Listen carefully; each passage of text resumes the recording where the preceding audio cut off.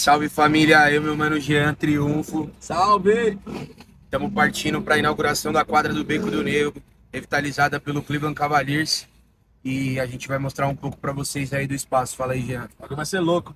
O parceiro do meu papai vai estar lá. Quem? Varejão, com seu Black Power. O bagulho vai ser louco, hein? Pode escrever, É Varejão louco. vai estar lá. E esse espaço é um espaço da hora, mano. Undergroundzão e faz tempo que o basquete ocupa esse espaço aí. Então vai ser da hora. É, e tem uma história lá do por causa do, do Nego, né, mano, que era grafiteiro, pá. E a gente vai mostrar um pouco aí do evento de hoje. Família, vocês que não forem inscritos no canal, se inscreve aí, deixa o like. Esse ano a gente vai vir com bastante novidade, a qualidade do vídeo vai voltar a ficar top. Pegamos um aparelho novo, certo? E deixa o like, comenta, compartilha e se inscreve no canal, certo? Tamo junto. O Cleveland Cavaliers, um dia tão especial para todos nós. Eu acho que todos sabem um pouco da história aqui do Beco Negro e quando eu fui me conheci, eu gostaria de falar que eu estou muito feliz de voltar ao Brasil com Cleveland Cavaliers, um dia tão especial para todos nós.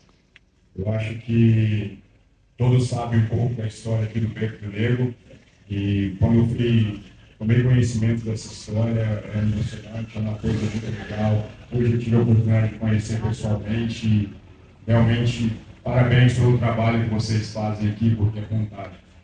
streetball do Brasil, né? E a On Fire nasceu disso daqui. A gente em dois anos revitalizamos sete quadras no- na cidade de Diadema, né? E a gente faz isso e a gente dá muita oportunidade através da internet para jogadores que não tiveram chance às vezes em nenhum clube, mas ainda tem um talento para jogar, né? E através disso, eu, eu, eu quero fazer uma pergunta para você num, sentido que hoje o basquete está fervoroso no Brasil, né, mano? Tá crescendo cada vez mais. Mas eu fui atleta também antigamente e era, era muito difícil a gente ter uma. é, por ser um país de futebol, a gente tem incentivos para o basquete. Né? E a On Fire vem através disso. Hoje em dia, a gente incentiva a molecada da, da que tá, joga numa quadra de rua a, a revitalizar a quadra. Eles ajudam a gente no processo para ter a questão do pertencimento, para cuidar daquela quadra, para não deixar as pessoas jogarem lixo ou zoarem a quadra. E aí, o quão é importante isso para você? Você, você acha que é para uma criança que vai estar aqui nessa quadra futuramente, sendo envolvida pelo basquete, coisas que a gente não tinha há alguns tempos atrás? Jean, né? Jean, cara, primeiro, parabéns pelo projeto On Fire, por tudo que você vem fazendo pelo basquete, pelo nosso esporte. Isso aí é fantástico e você está de parabéns. Eu sei que não é fácil, é, eu sei das dificuldades que a gente tem aqui no Brasil, falta de, de estrutura e tudo mais. O que você está fazendo, cara, isso é, é muito vocês, né? Vocês estão fazendo, desculpa, é muito, é muito bacana, é, é muito legal. A gente sabe, cara, que esporte é saúde, esporte é inclusão social, esporte é, é fazer novas amizades, é uma união de classes e tudo mais. Então, eu acho que é, às vezes eu, eu falo do meu instituto Anderson Varejão, né? A nossa intenção, claro que a nossa ferramenta é o basquete, é o que a gente usa, mas trazendo as crianças para a quadra, você está tirando elas da, da- das ruas, os adolescentes a mesma coisa, ocupando a cabeça deles com coisas boas, né?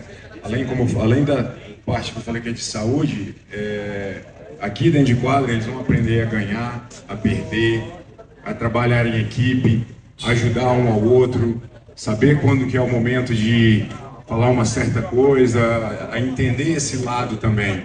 É de criar cidadãos melhores, cara. Então, você está de parabéns e o nosso grande objetivo é esse também. Dizer para vocês que eu estarei sempre à disposição.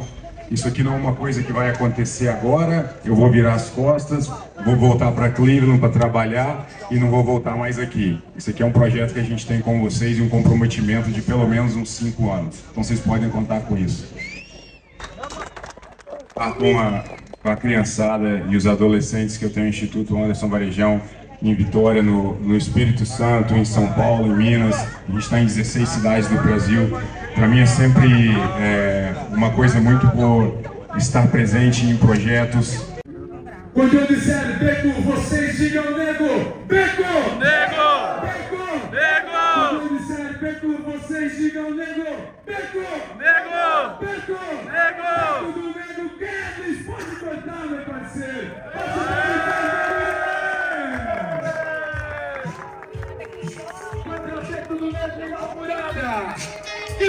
Galera.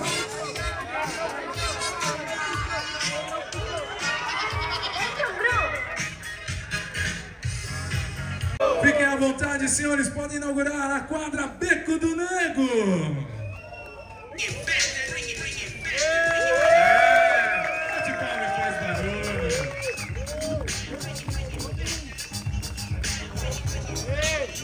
This o time da NBA, Cavaliers da comunidade local, inauguram o importante passo para o momento do E aí, cachorro? Como é que tá? Mostrando Da hora. que juntos somos capazes de fazer nossos sonhos saltarem ainda mais alto. Aproveitem o jogo, Cleveland Cavaliers.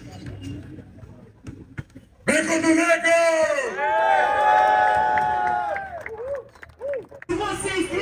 Salve, salve galera! Firmeza, como é que vocês estão? Jean Triunfo na voz aqui, estou com o Fernando On Fire e nosso ídolo, Varejão, tá ligado? E o Fernando queria aqui um pouquinho pra falar sobre o projeto pra você, mano. Mano, primeiro prazer, parabenizar pela revitalização. Eu sou idealizador do projeto On Fire, que ele falou que revitaliza quadras. A ideia do projeto é justamente fazer a revitalização com os usuários, para ter aquele senso de pertencimento, né? Que a partir do momento que ele participa do processo de revitalização, ele se sente dono do espaço se sente obrigado a zelar por aquilo. Exatamente. Tanto que em Diadema a gente fez sete quadras e isso virou mesmo um mantra da molecada. Eles não jogam mais isso no chão, se quebra o ar eles trocam. E parabenizar muito por essa ação, a gente se inspira muito nesse tipo de ação. E na realidade falar que, mano, tomara que um dia a gente consiga levar o Cleveland para revitalizar o Hooker Park Brasil, que é o Kaliman, aonde já jogou o Giovanoni, o Nog, Paulinho Boracini. E essas ações são muito importantes pro, pro Brasil. O Kevs eu vejo que é um time que está muito engajado no público brasileiro. Então eu queria muito parabenizar vocês por isso e já fazer o convite para que a próxima quadra seja no nosso Hooker Parker, no Kaliman. Cara, ó, muito obrigado aí. Muito obrigado pela, pelas palavras e parabéns pelo trabalho de vocês. Sensacional. É, a gente sabe a dificuldade que é aqui no nosso país com infraestrutura e essas coisas para a gente estar fazendo a prática do nosso esporte, o esporte que a gente ama, que é o basquete. Mas parabéns por tudo isso aí. Convite está feito. Pode deixar que eu vou pensar com carinho que se der certo, você vai ser top. É nóis. Aproveita e segue nós lá também, oficial On Fire. Aí, galera, Varejão vai seguir nessa página. Só pra gente finalizar, pra eu te contar qual que é o contexto do Kaliman, em 1990 aquele espaço não existia. E aconteceu uma chacina lá, e o nome Kaliman é formado pela inicial da letra do nome de cada vítima que faleceu naquele espaço. E hoje é, fora o Ibirapuera, é o segundo principal ponto de basquete de São Paulo. Então tem esse contexto também pra melhorar no carinho que você vai pensar. Não, vamos, vamos conversar, vamos conversar. Quando- Mano, brigadão. Segue a gente lá. oficial. É nóis, família. É nóis. Varejão, Fernando Fire. Tamo junto. Muito obrigado. Valeu. Já bloqueei ele no rebote, esquece. Igual remédio, tá procurando os doentes. Procura sempre, né? É isso aí. É nóis, família. Tamo junto.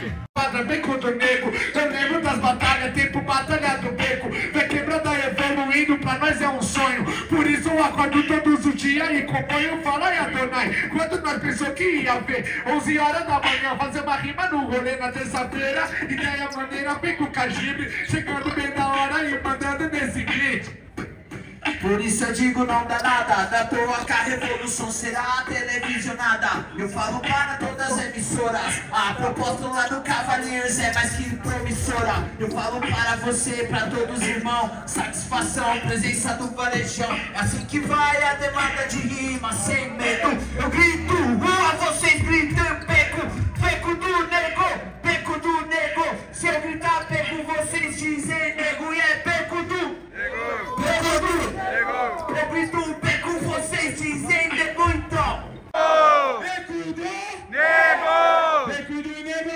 aparece no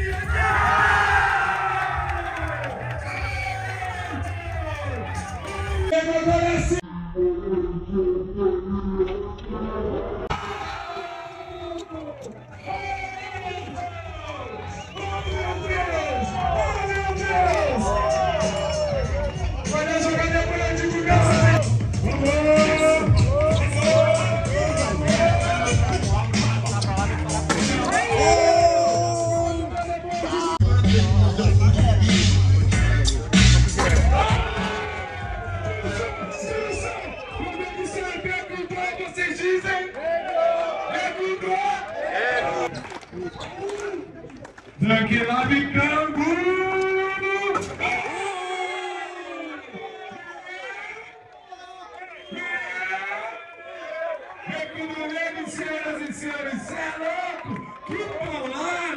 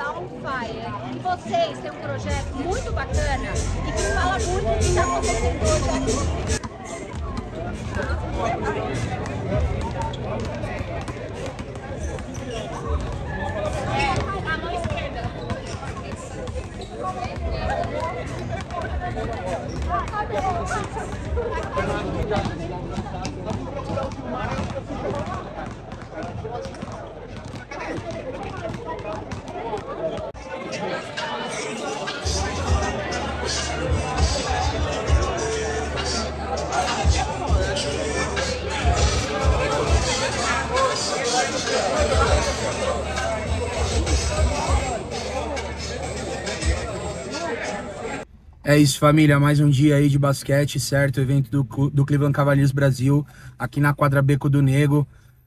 Digo, eu, Jean, todo mundo com seu copo devidamente autografado. Toma. Valeu, Cleveland Certo. Brasil. Conhecemos o homem.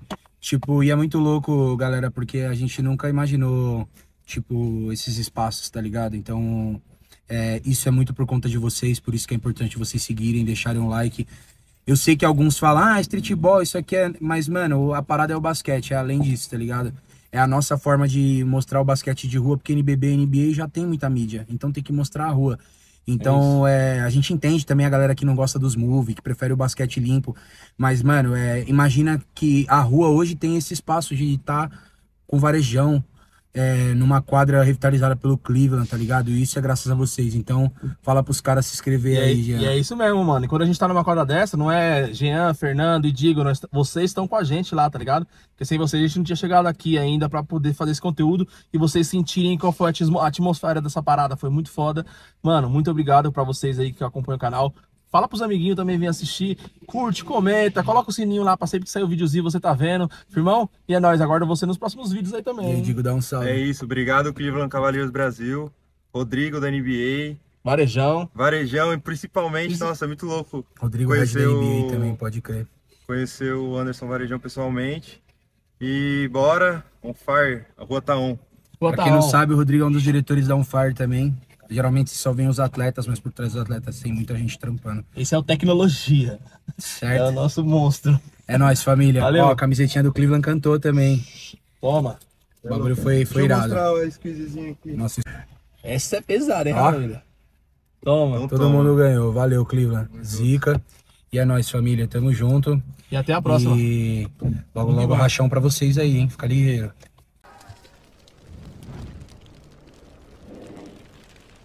on fire.